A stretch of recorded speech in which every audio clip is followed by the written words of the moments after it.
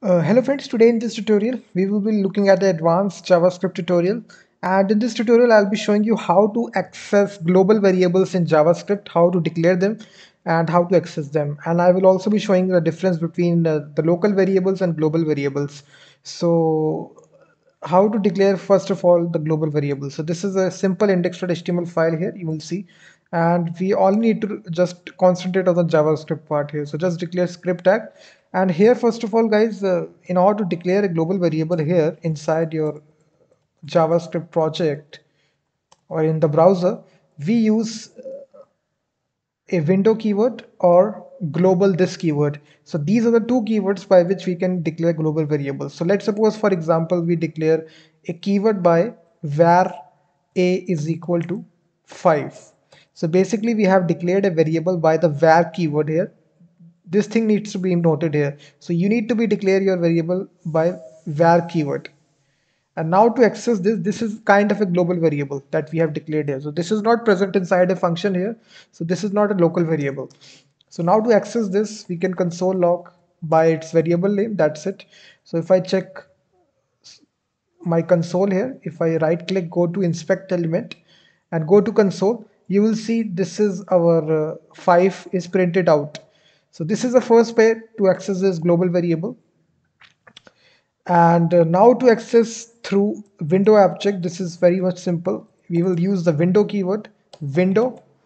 And basically, if you just console log window here, you will see this uh, window object here. So all the objects which are all the methods and variables which are built in inside this window object, you can just see how many variables, how many methods are there. So basically the alert statement that you use inside your browser, if you just see, this is an alert statement, hello world. So basically if you use this statement, you can also use this because this is also present inside this window object. So you can see this is the alerts method here. You can also see this method here like this. If you refresh it. So this is the alert method which is present here. So basically you can also uh, see this and instead of writing like this you can also write this like this also which is window dot alert this is you can just provide your implementation this is hello so it will work the same like this you can ever before you can see. Because it is present inside this window object. So all the methods which you can see inside this window object you can use like this also like this window dot alert window window that. So basically window here represents the global scope out there. So it represents you can also now access simply window dot a.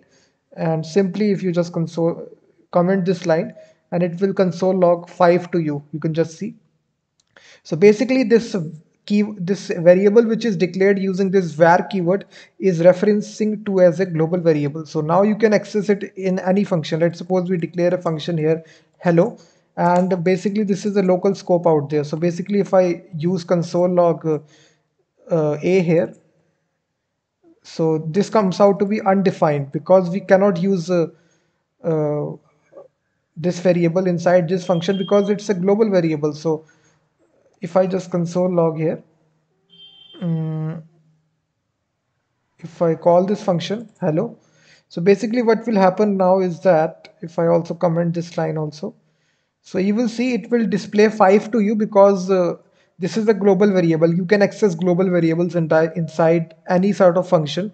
But let's suppose there is a situation like this. You also have a variable like this with the name of a which has a value of 15 because now this this is a local variable.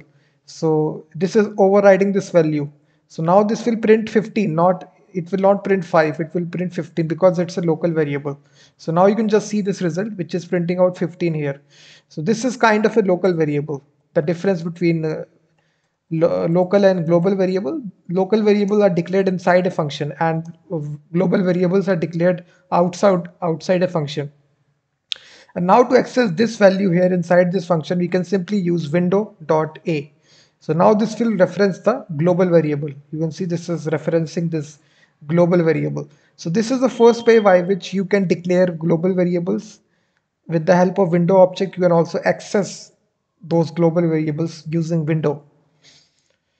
and uh, now I will show you some more keywords by which you can access it so basically uh, you can declare a console log window and uh, this also means you can console log like this uh, self also. Self also represents the same thing. Then we got another keyword such as frames. Frames also represent the same thing.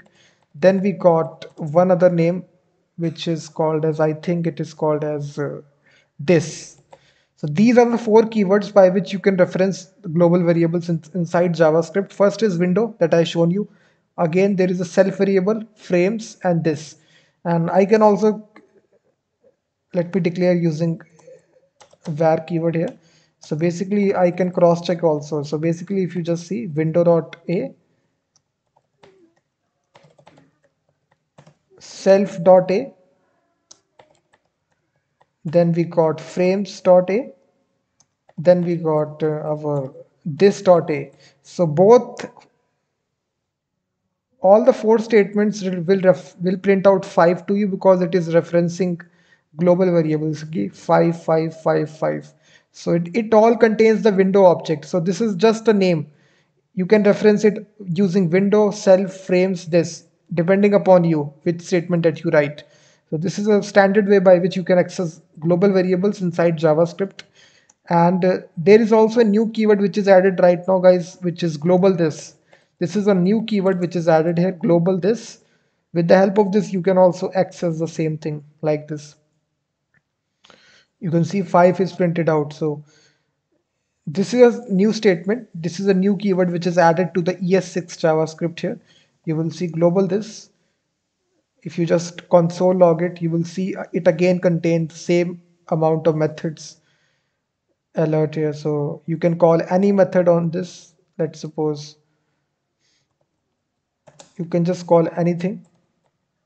It totally depends upon you can see.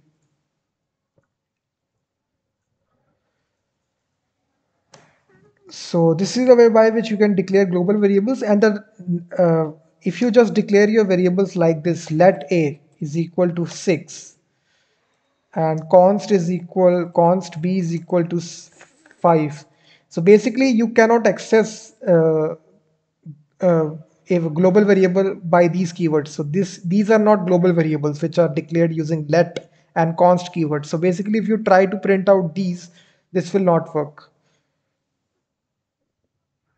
so basically what you will do if you just print out this so it will say to you undefined because these are not global variables. You cannot access them using window object.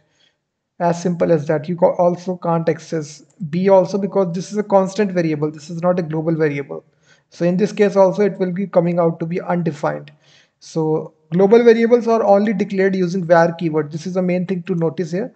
Only var keyword is declared is used to declare global variable. So if you declared using let and const keyword, these are not global variables. These are not, you cannot access them globally. And one other thing guys, if you declare this uh, function here, this is an anonymous function.